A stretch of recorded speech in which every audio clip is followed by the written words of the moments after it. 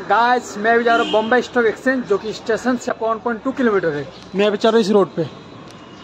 Guys मैं finally पहुँच चुका बॉम्बे स्टॉक एक्सचेंज कुछ बीस टाइप का बिल्डिंग बनी है यहाँ पे। तो गाइस मैं आपको दिखाता हूँ सीधा बीएससी जो कि बॉम्बे स्टॉक एक्सचेंज ये है भाई देख लो। बिल्कुल सामने ये वाला बिल्डिंग बट भाई बैड लक है क्योंकि सैटरडे संडे को ऑफ़ रहती है, ठीक है? मेरे को पता ही चीज़, लेकिन आ गया हूँ मैं, लेकिन ऑफ़ है यहाँ पे। जैसे मंडे से फिर शुरू होएगी ना तो फिर मंडे से आपका सबका फ्राइडे तक चालू रहती है ये। उस टाइम में बहुत ज़्यादा भीड़ हुआ करता है, ठीक है? अभी थोड़ा घट गया भीड़, क्योंकि अब ऑनलाइन हो गया टोटल काम ऐप से इन्वेस्ट करता लोग। पहले यहाँ आने के, आके इन्वेस्ट क्या करता था, ठीक है? आने के बाद होता था इन्वेस्ट इस जगह पे। यहाँ भाई मेरा भी यहाँ पे कुछ पड़ा हुआ है इन्वेस्ट कर रखा है मैंने भी। ठीक है, अभी तो रेट डाउन पे है। तो भाई मेरे को मतलब मेरे को तमन्ना था, देखने का मन था, इच्छा था, ठीक है? कि मेरे को देखना भाई। चलो, आ गया हूँ, मैं आपको भी दिखा रहा हूँ, देख लो।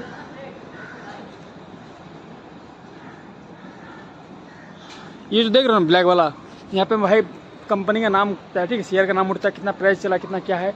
जाके यहाँ से फिर मतलब अपना रेट लगाते हैं, पे अंदर जाके घुस के। अभी भी मतलब चालू रहता है ना तो अंदर जाता मैं, बिल्कुल। जाके मैं आपको दिखाता अंदर से। अंदर से मैं आप मतलब खरीद सकते हो, यहाँ पे बेच सकते हो, अंदर जाके भी कोई प्रॉब्लम नहीं है। बट बंद है अभी। ऐसा एरिया है भाई यहाँ का। ये पूरा लॉक बंद कर रखा ठीक है? इधर गाड़ी नहीं जाती है अभी। मैं उनसे पूछा आदमी से तो बार अभी बंद है। तो हम सोचा आज तो सैटरडे भाई, बंद तो रहना ही है।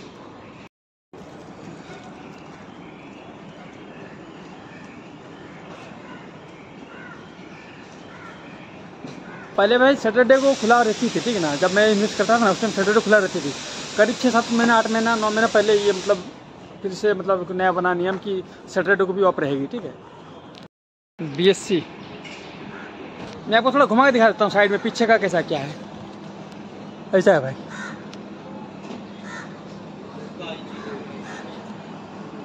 भाई साढ़े बारह बज गए अब मैं अभी चल जाता हूँ होटल पे, खाना खाता हूँ, ठीक है? फिर मैं निकलूँगा कहीं पे। भाई, ये बैंक ऑफ़ महाराष्ट्र है। मुंबई के अंदर एसबीआई बैंक कितनी बड़ी है, आपको दिखाता मैं हेड ऑफ़िस है ये। भाई, ये देखो, ये वाला बिल्डिंग एसबीआई की है। बोर्ड दिख रही है ना आपको? भाई, मैंने खाना खा लिया, बहुत अच्छा लगा खा के और मैं भी इस रोड पे चल रहा हूँ। मैं भी जा रहा हूँ कुरला। यहाँ से मैं आगे से ट्रेन लूँगा। आज मेरा मुंबई में लास्ट डे है। कल मैं निकल जाऊँगा गोवा। फिर आपका गोवा में दो तीन दिन रुकने के बाद मैं फिर निकल जाऊँगा अपना फ़्लाइट लेके कोलकाता। मैंने अपना लंबा प्लान किया था। मेरे को मतलब 20 दिन यहाँ था मुंबई के अंदर तेईस को निकलना था। गोवा गोवा से फिर हैदराबाद हैदराबाद से फिर मेरे को अपना मतलब घर निकलना था।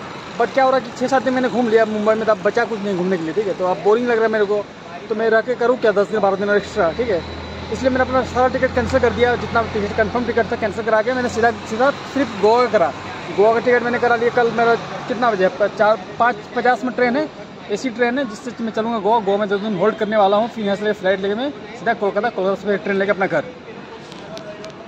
इस रोड पे मैं चल रहा हूँ भाई ऐसा कुछ बिल्डिंग भाई, यहाँ पे देख लो।